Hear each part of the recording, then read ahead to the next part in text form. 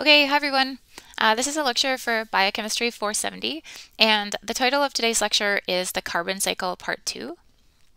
So for our lecture outline today, we are going to start by defining the global methane cycle. Uh, we'll also identify some anthropogenic sources of methane emissions and discuss methane as a greenhouse gas. And then we'll compare three uh, biochemical pathways that are used for methane production, which is also known as methanogenesis. Okay, so as we can see here, uh, the kind of chemical structure or uh, chemical formula of methane is CH4. So kind of significantly, uh, methane contains carbon uh, in its most reduced form. Under most conditions, methane is a colorless, odorless gas, and it's significant in relation to the carbon cycle because methane is the second most abundant uh, carbon-containing gas uh, in the atmosphere. So if you look at this uh, table here, which lists uh, all of the uh, gas constituents of the atmosphere, we can see that carbon dioxide is listed as having a concentration of 360 parts per million. Uh, this data is actually a little bit uh, old. We know that the concentration of CO2 in the atmosphere is now uh, about 410 parts per million. But kind of importantly here, we can see that the concentration of methane is much less. So listed here as 1.5 ppm so more than 200 fold less than carbon dioxide. But it's still the most uh, second most abundant carbon containing gas uh, in the atmosphere. And so, in relation to the carbon cycle, methane is a really significant gas. Uh, it's a significant gas because it's a greenhouse gas, um, and it actually has a, a higher global warming potential uh, as compared to CO2. Okay, so we define the global methane cycle uh, as being kind of a subcycle of the carbon cycle that describes the fl flux of methane uh, between various uh, reservoirs on Earth. And if we consider these, these reservoirs of methane, sort of the three most abundant methane reservoirs are ocean hydrates, permafrost hydrates, and gas reserves.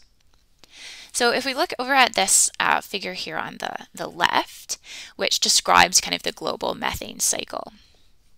So over here on the left, we can see that there are various processes that can function to remove methane from the atmosphere. We can have um, methane reacting with uh, hydroxide radicals or chlorine in the atmosphere that functions to remove methane from the atmosphere. Um, and in terrestrial environments, we can also have oxidation of methane by um, methanotrophic bacteria also functioning to, to remove um, methane from, from the atmosphere or from the air. And then sort of in the middle here, we can see a number of processes that um, function to emit methane. And kind of importantly, uh, the arrows that are uh, black indicate uh, natural fluxes or natural processes, and the arrows that are red uh, indicate sort of anthropogenic processes or fluxes. And then this arrow here that's kind of yellow or brown represents a process that's both anthropogenic as well as uh, naturally driven. So we, in terms of methane emissions, we can see that we can have uh, methane um, emitted from uh, ocean hydrates. We also have a lot of methane uh, emitted from agricultural processes, so methane emitted from livestock, um, as well as agricultural processes such as rice cultivation. Uh, we can have methane emitted from water supplies, so from wet, freshwater or uh, wetlands. Also, lots of um, methane emitted from kind of waste sources, so landfills and other sources of waste. Uh, we can also have methane emitted sort of during incomplete combustion of fossil fuels or kind of the burning of biomass.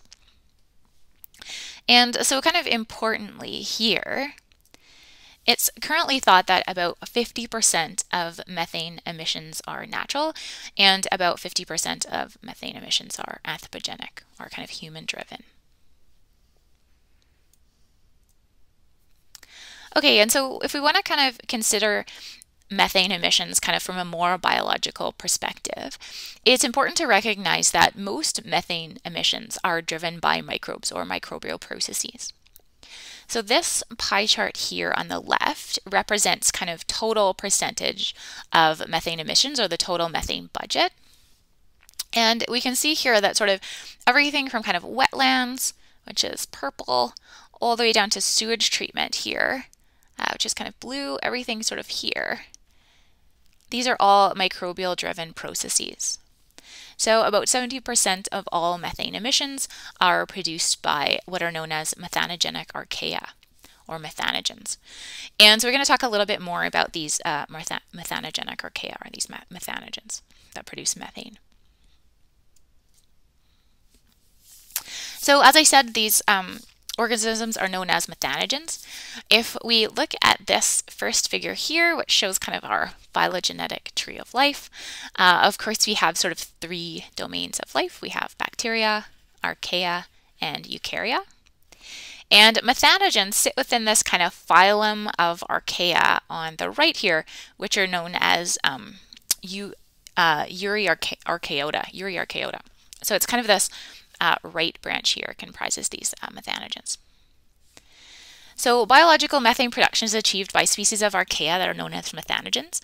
These methanogens are anaerobic, so they produce um, methane under anaerobic conditions. And they're also obligate methane producers, meaning that they have to produce methane to survive. Uh, there's also over 50 known species of methanogens. They can be either um, cocci or bacilli in shape. And this electron micrograph here um, is showing a culture of uh, methanogens known as uh, Methanobacterium formicicum, uh, which, which, as we can see here, are bacilli. Um, and kind of importantly, these methanogens are found in early diverse environments. So typically where we see methanogens sort of functioning ecologically is they tend to function sort of at the end of anaerobic uh, food chains. So methanogens tend to thrive in environments where other nutrients such as kind of sulfur or nitrogen are limiting and they can sort of function by um, in anaerobic environments kind of completing degradation um, of products produced by other bacteria, uh, particularly kind of fermentation products that are produced by other bacteria or other microbes. And so we're going to sort of continue the lecture by um, covering sort of three pathways, the three primary pathways that are used by methanogens uh, to produce methane or for methanogenesis. So the three pathways uh, are shown here. Uh, the first one on the left is known as the hydrogenotrophic pathway. And in this case, methane is produced from carbon dioxide as well as hydrogen gas or molecular hydrogen.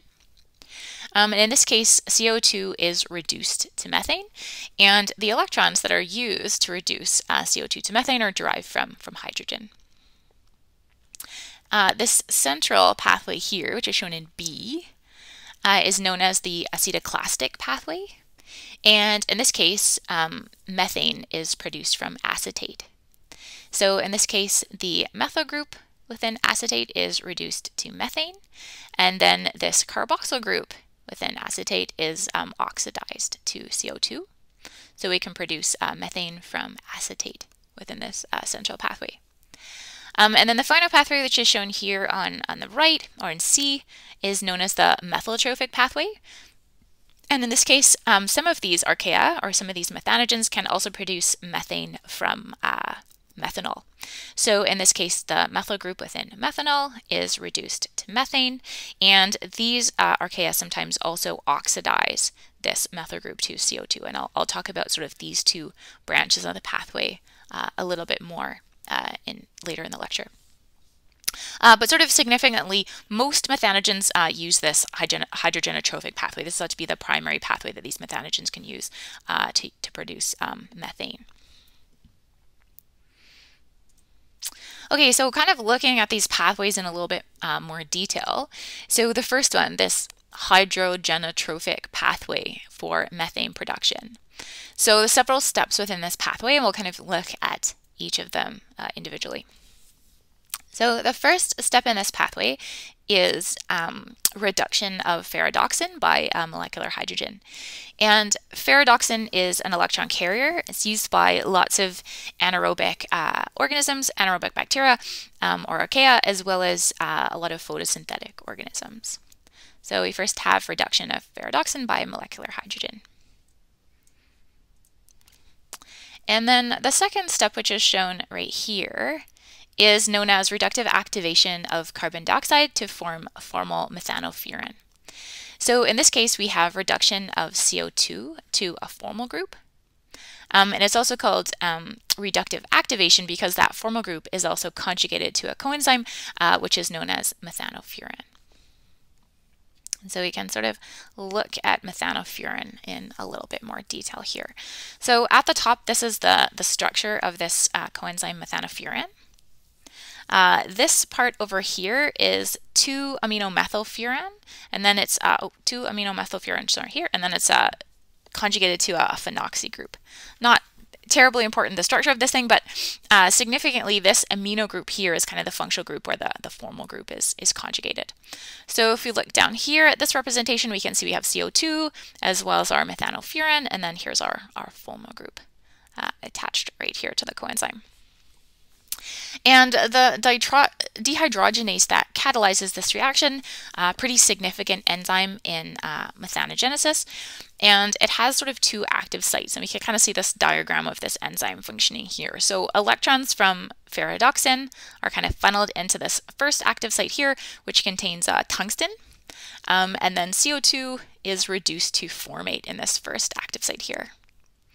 Uh, and then down in this uh, second active site, which contains zinc, is where we have conjugation of uh, the formyl group to uh, methanofuran to form uh, formyl methanofuran down here, this dehydrogenase.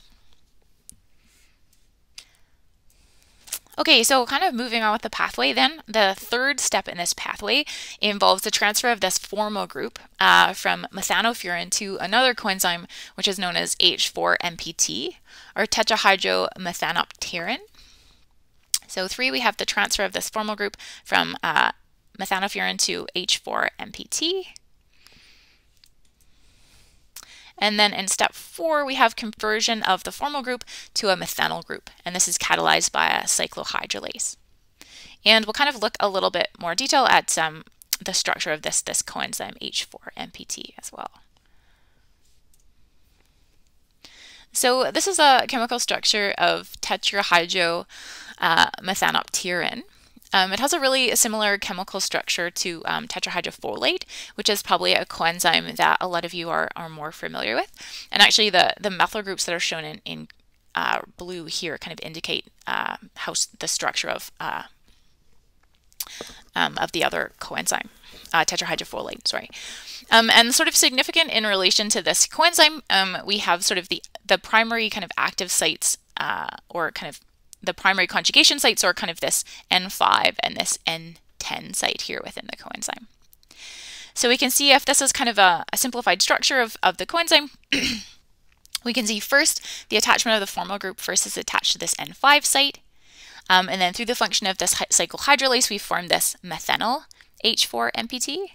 And then subsequently in the pathway, which we'll see in a minute, this methenyl H4-MPT is reduced to a methylene H4-MPT and then reduced again to a methyl H4-MPT. And here's our methyl group here, which is attached to this N5 site within the coenzyme.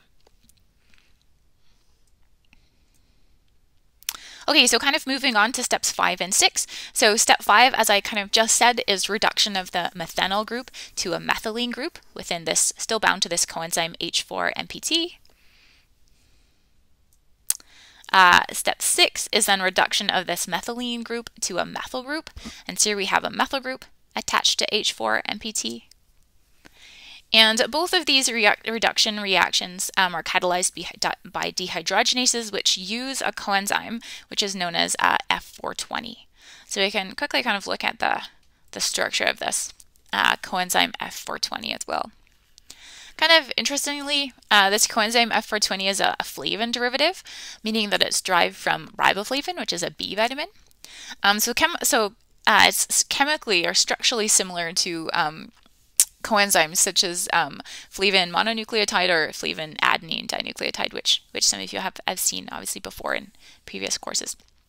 But kind of, I guess, significantly, this is the, the oxidized form of the coenzyme as, as well as the, the reduced form of this coenzyme F420 which is used in these reduction reactions.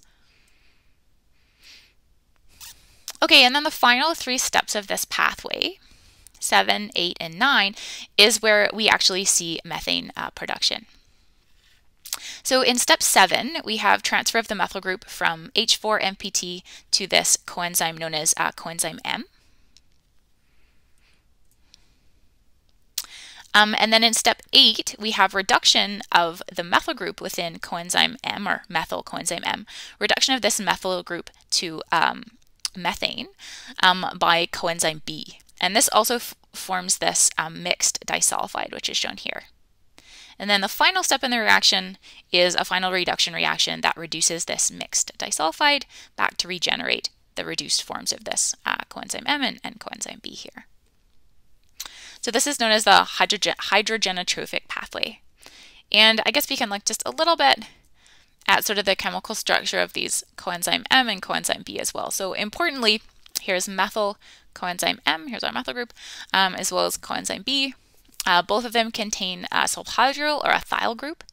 And so we have reduction of coenzyme M by coenzyme B, forming this mixed disulfide here, uh, as well as methane, which is the product of this hydrogenotrophic pathway.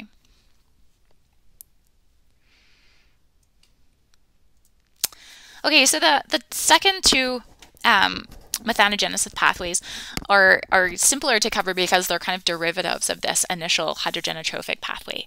So the second one is known as the acetoclastic pathway.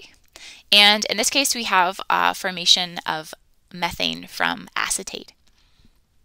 So the first step in this pathway is uh, formation of acetyl-CoA from acetate. So here's acetate and the formation of acetyl-CoA.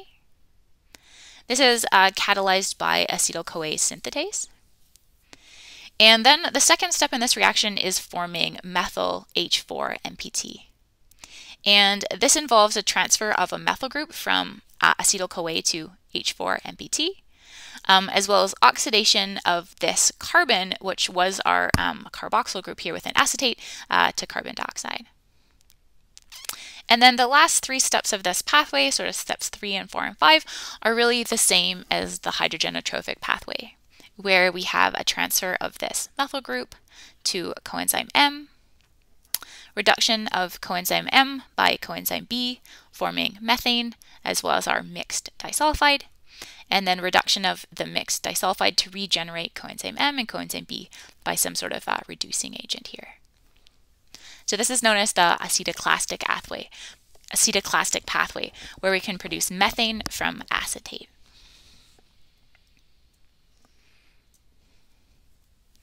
And then the final pathway um, for methanogenesis or, or, methane production is um, the methylotrophic pathway.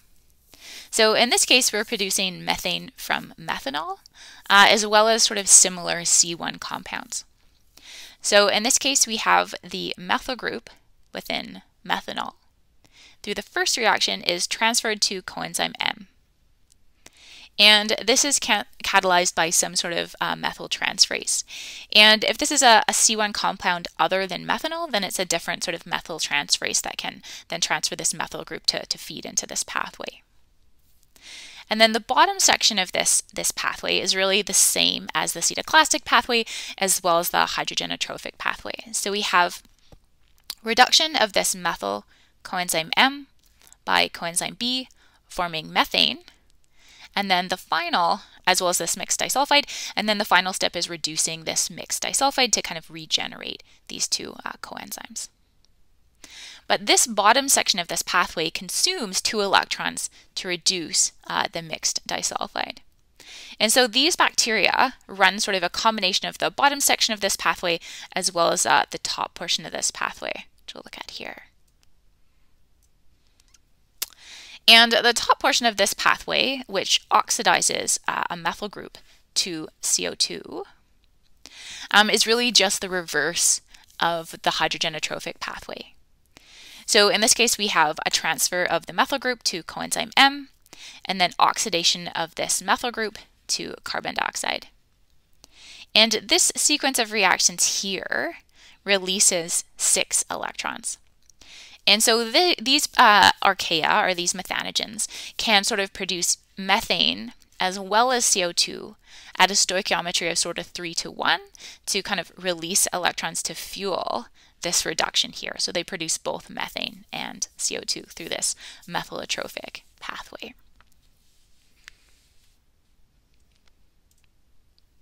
Okay, so I think now that we've kind of looked at these three biochemical pathways for methane production, I think the sort of central question here, or the question thing that we want to sort of resolve is, is well, why do these methanogens uh, produce methane?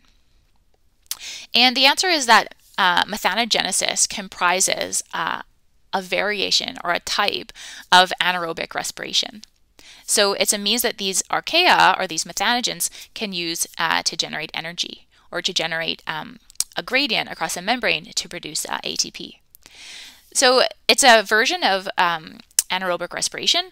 Methanogenesis is also thought to be a lot more diverse and complex and varied than most other types of respiration, such as oxidative phosphorylation um, or photosynthesis or some other types of anaerobic respiration. So we'll just look at one example here where um, we can see methanogenesis functioning as an electron transport chain. Okay, so if we look at this diagram here, we can see that we've got sort of a similar representation of this hydrogenotrophic pathway, um, but we can see that it's functioning as this electron transport chain. So if we have a CO2 kind of outside of these archaea, diffusing across the cytoplasmic membrane uh, into the cytoplasm, we can then have CO2 being uh, reduced to methyl coenzyme M here in the cytosol. And kind of importantly, the second step of this process, so um, the formation of uh, formyl methanofuran, uh, consumes two protons within the cytoplasm. So then the second step of this process then would be reduction of this methyl coenzyme M by coenzyme B to form the mixed disulfide here in the cytoplasm. And then now we can kind of see where this electron transport chain sort of comes into play. So if we have oxidation of molecular hydrogen by a hydrogenase that's sort of membrane bound or transmembrane, producing two protons uh, outside of the archaea, we can have two electrons then transferred through this electron transport chain. So transferred through uh, cytochromes as well as MPH2, which is methanophenazine, which is a hydrophobic um, electron carrier that functions within these uh, methanogens. And then, so we can say that electrons are transferred between cytochromes as well as MPH2 to the reductase here. And then this reductase functions to reduce the heterodisulfide or the mixed disulfide to regenerate coenzyme B and coenzyme M. And so significantly, this functions, the system functions as an electron transport chain to generate a proton gradient across this cytoplasmic membrane.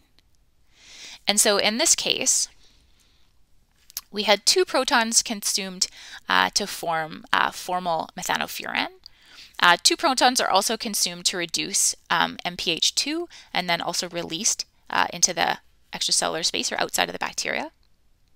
And we also had two protons generated here through oxidation of molecular hydrogen by this hydrogenase, resulting in this proton gradient across uh, the cytoplasmic membrane.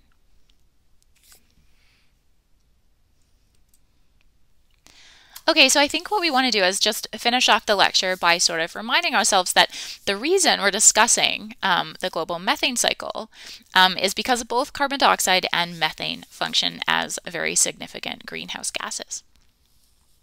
So as we can see on the top sort of graph here, uh, atmospheric concentrations of carbon dioxide have increased by almost 50% since pre-industrial times. So if we look at sort of pre-industrial times, so maybe the year 1750 here, carbon dioxide levels increased from about 280 parts per million up into around 410 or 410 parts per million today. And they've been increasing at a rate of approximately 2 parts per million per year. Um, and if we consider methane, can see that in regards to methane, um, kind of at pre-industrial times here, sort of 1750, methane was present in the atmosphere at around 720 parts per billion. And it's increased by more than 150%. Um, the concentration of methane in the atmosphere now is about 1900 parts per billion. And so concentrations of methane are increasing at about 8 parts per, this should be parts per billion uh, per year. And so, although concentrations of methane are much lower in the atmosphere as compared to carbon dioxide, um, methane has a much higher global warming potential as compared to CO2. And so, it's thought that currently uh, the overall contribution of methane to the greenhouse effect is somewhere in the range of kind of 10 to 15%. So, a really significant greenhouse gas. Okay, so just to finish this lecture, The global methane cycle describes the flux of methane between various reservoirs on Earth. Methanogenic archaea, also known as methanogens, account for 70% of global methane emissions. The hydrogenotrophic, acetoclastic, and methylotrophic pathways are the biochemical pathways that are used to produce methane. And atmospheric methane concentration have increased, concentrations have increased two and a half fold since pre-industrial times. And methane is considered the second most significant uh, anthropogenic greenhouse gas. Okay, thanks for watching. Bye.